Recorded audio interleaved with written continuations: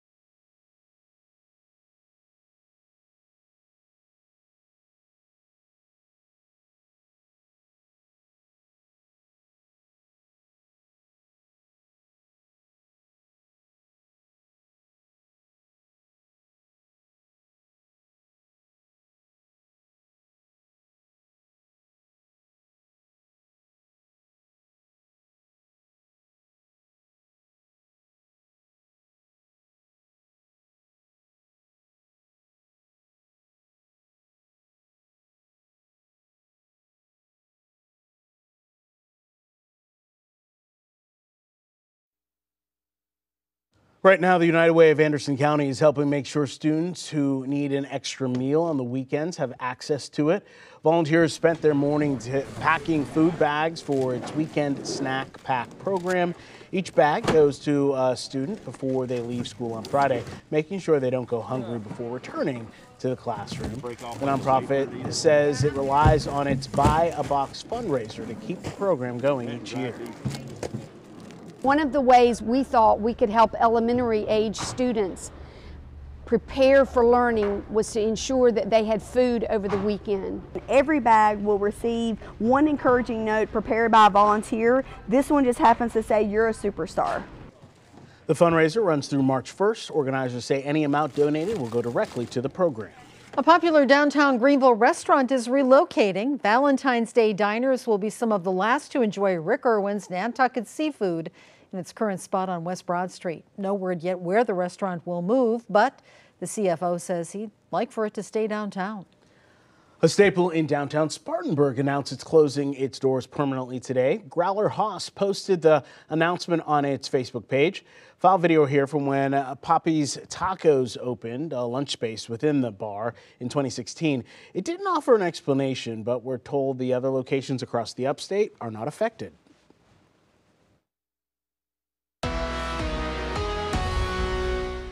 A beautiful day across town. We've got clear skies from the upstate to the mountains in northeast Georgia. That means temperatures are cooling quickly. You can see from our Skycam networks, uh, we're heading down into the 40s quickly tonight. Right now, we're at 40 degrees in Asheville, 55 in Greenville, and 52 in Anderson. Looking ahead toward tomorrow morning, you'll want the heavy coat. We're talking 20s pretty much widespread across the area, but low 20s in the mountains. And that's one of those nights you really want to bring the pets indoors. Uh, you just kind of take it extra easy because that kind of chill is quite dangerous. Uh, 31 degrees first thing in the morning in the upstate by 7 a.m. and then we're into the middle 50s, almost a carbon copy of what we had today. Uh, mostly sunny skies, really just a beauty of a day. In the mountains, we'll see temperatures start off in the low 20s there and warm up just a tick warmer than you had today, closer to 50 degrees, which will be nice. 51 in Asheville, 51 in Hendersonville, and 57 in Greenville. Looking in closer to Greenville County, of course, it'll be a little bit colder in the northern part of the county. Caesar's Head, 48 degrees for taking a hike, 53 in Down the Golden Strip from Mauldin, Simpsonville, and Fountain Inn, all right where we should be this time of the year in the middle 50s. Let me show you when things begin to change here for us. So the next couple of days are cool, but as we go into Wednesday, our wind coming out of the south, that'll begin to inch the temperature up just a bit. And that comes with a price to pay this time, and it's a chance for some spotty showers late Wednesday. I'm talking 10, 11 o'clock, maybe some spotty rain showers here and there. And even when you wake up on Thursday, not all of us seeing the rain, it's going to progressively get rainier as the day goes on Thursday. So think 4, 5, 6 o'clock. Your morning drive uh, may be okay, but your afternoon commute back home will be very wet on Thursday. And this is when the heaviest rain begins to set in. And we're talking a quick hit of some heavy rain. Thursday evening, 11 o'clock, going into the overnight hours while we're sleeping into Friday morning here by 8 a.m. Most of this starting to push out of our area and clearing skies move our way progressively on Friday. So though we start off wet Friday, it'll get better as the day goes on. When it's all said and done, a solid inch looks to be a good bet across the area with some of the upslope areas here in western North Carolina, northern Pickens County, northern Oconee County, closer to two inches. So it's a quick hit of some very heavy rainfall, and then we're right back to it. Warm air favored in the extended forecast here. I keep showing you this just to show you if it changes or not. Well, this week's set to be above average as a whole, and then next week as well. Let me show it to you. The four day looks like this 56 degrees tomorrow, our last day below normal. By Wednesday, we're at 58 degrees with increasing clouds, some late day showers, and certainly some heavy rain on Thursday. I've issued an impact day for that. Most of Friday is dry, 61 degrees, and then we're smooth sailing right into the weekend with all those temperatures being at or above normal. Beauty of a weekend on the way for you in the mountains as well after that very rainy Thursday. Rams quarterback Matthew Stafford all smiles after his team's Super Bowl win coming up. What the former Georgia player had to say after winning his first world title. Plus, you'll hear from Wofford baseball coach Todd Interdonato ahead of the Terriers season opener on Friday. Right now, we're gathering the latest from Ukraine, where the U.S. is moving its embassy in advance of an anticipated Russian invasion. Also, the mission to launch civilians the farthest into space since the moon landings. We'll tell you more tonight on NBC Nightly News.